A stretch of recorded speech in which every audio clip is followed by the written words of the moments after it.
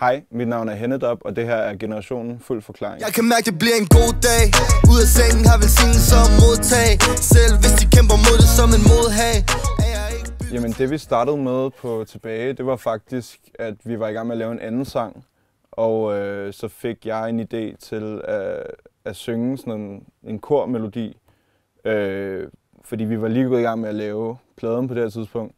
Og sådan, vi havde bare en masse idéer i hovedet. Og så, øh, så tænkte vi bare, at vi skulle prøve alting af. Og, sådan, og så sagde jeg, at det kunne også være griner, hvis vi havde en sang, der startede med sådan noget la da da da da. Øh, og så sagde Oliver til mig, øh, om jeg ikke lige kunne lave en memo af det, sådan, så jeg ikke glemte det. Øh, og det var så meget godt, at han gjorde det. Øh, fordi så gik vi så tilbage til den sang efterfølgende, og så brugte jeg lige en halv time på at indspille øh, sådan noget børnekor, øh, hvor jeg havde pitchet mig selv op. Øh, det lyder cirka sådan her.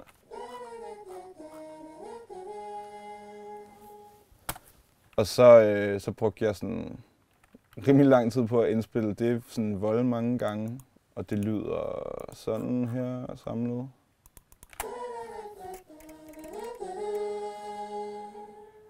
Grunden til, at jeg lavede så mange spor, det var fordi, at det er ligesom, når man står på et stadion, og alle synger lo, lo, lo i kor, så får man sådan den der, den der store øh, korfornemmelse. Så jeg, jeg sad bare og indspillede det tusind gange med sådan forskellige versioner af mig selv, som om jeg lød som forskellige mennesker.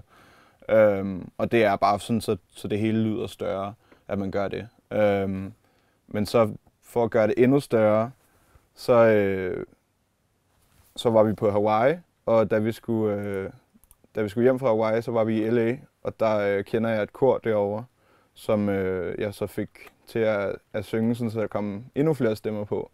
Og det er nogle, nogle lidt dygtigere sanger end mig, øh, og de er vant til at synge øh, i kor, så, øh, så det er tilføjet sindssygt meget, og det lyder sådan her.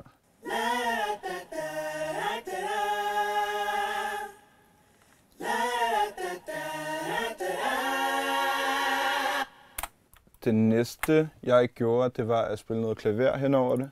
Øh, ligesom tilføje nogle akkorder til det.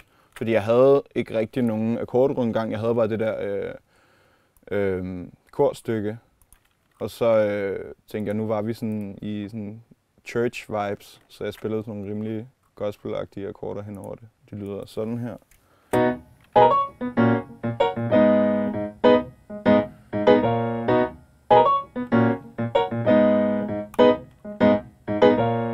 Og så har vi også den her sidste akkord, som er sådan rimelig... Det er den, der gør det helt church.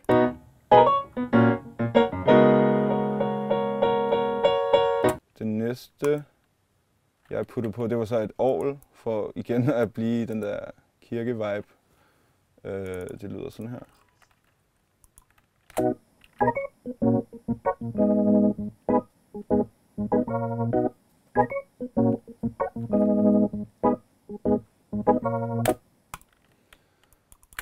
Og så havde jeg ligesom hele det loop med klaveret og koret og orglet.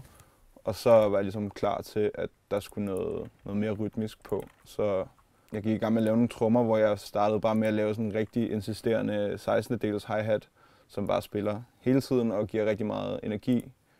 Øhm, og det lyder sådan her. Og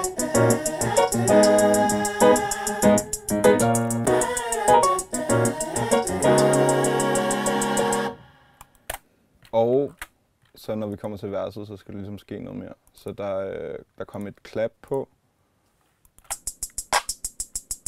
Og nogle ekstra hi-hats. Og sådan en rimshot. Og for det ikke skal være løgn, så var der også en koklokke. Og det lyder sådan her.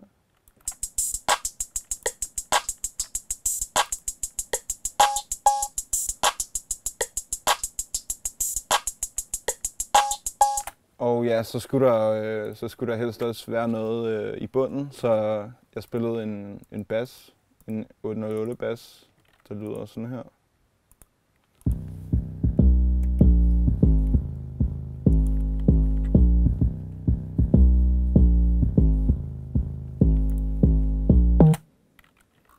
Og så lagde jeg et kick oven på den, der følger den rimelig meget. Og det lyder sådan her. Hvis vi tager alle trommerne samlet, så lyder det sådan her.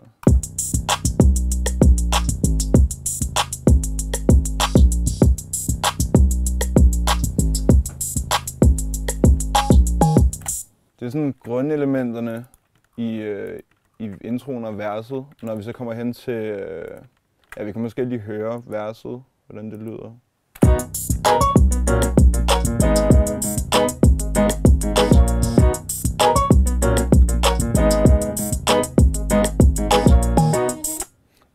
Så tog jeg øh, det der kor, jeg havde startet med at indspille børnekoret der, og så klippede jeg det. Øh, sådan brugte det som et sample, og ligesom ændrede lidt i rækkefølgen på de forskellige toner. Øh, sådan så det gav en, en større kontrast til, når, det, når hele koret kom ind igen. Det lyder sådan her. Thank you.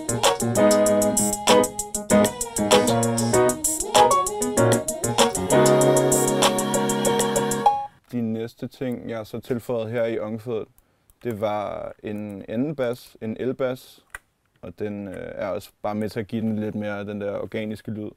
Øh, fordi nu havde vi koret og klaver og orgel og så videre, og så tænkte jeg, det var, det var meget fint lige at, at supplere med en, en rigtig bas. Eller i hvert fald noget, der minder om en rigtig bas. Den lyder sådan her.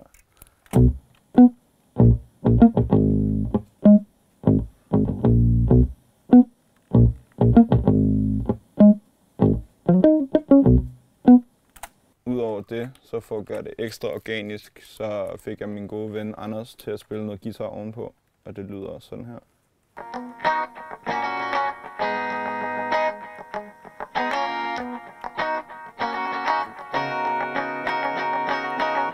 Efter det sidste omkvæd, der kommer der lige det her post, øh, post hvor der kommer noget mere kor på. Og der havde jeg igen gjort det samme med, jeg havde sunget en, øh, en sådan lead melodi, og så da jeg var i LA for at indspille med koret, fik jeg dem til at lave øh, harmonier oven på den. Så jeg havde givet dem den her stemme,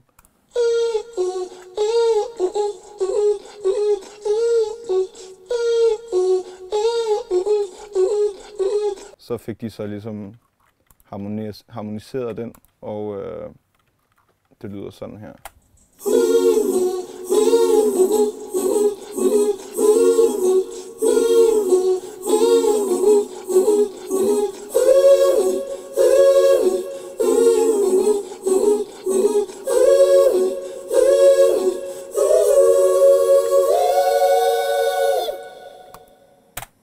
Vi lavede, øh, vi lavede demoen med, øh, med Oliver, øh, før vi kom alle de her ekstra korelementer på. Øh, fordi vi lavede beatet op i Tisvilde, hvor vi var i sommerhus. Øh, og så lavede vi faktisk hele sangen derop. Øh, og jeg sang omkvædet ind som en demo. Øh, fordi jeg havde siddet og skrevet lidt, mens Oliver skrev sin vers, havde jeg siddet og arbejdet på noget omkvæd. Og så endte vi med at beholde øh, min vokal på omkvædet, og så sang Oliver det så til sidst for igen at give endnu, endnu større kontrast. Øhm, og da vi så havde en hel, en hel sang i virkeligheden, så var det så, det var ligesom i slutningen af vores tur øh, til Hawaii for at lave album, at så gik man så ind og tilføjede de der ekstra ting, som for eksempel gospelkoret der.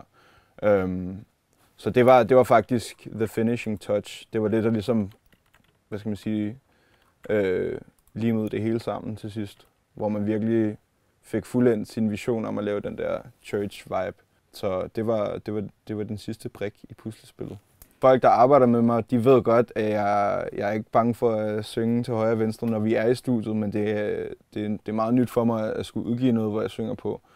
Øhm, jeg kan godt lide at involvere mig selv i, i forskellige dele af processen, og jeg sådan i den senere tid begyndte at være være mere fokuseret på, på sangskrivning og sådan at hjælpe til med melodier og så videre. Så, øh, men altså som sagt, det var, det var ikke engang planlagt, at det sådan var mig, der skulle synge omkvædet. Det var bare en demo, jeg lige hurtigt indspillede, og så øh, var planen, at Oliver skulle lægge det ovenpå. Øh, men så fungerede det bare bedre dynamisk, at vi ligesom switchede. Og så, altså, jeg er altid fan af, at man gør, hvad der er bedst for sangen, så jeg, jeg, sådan, jeg havde ikke noget problem med at, at sådan skulle skulle være sanger lige pludselig på den måde. Fordi hvis det var det, der fungerer bedst, så er det det, vi gør.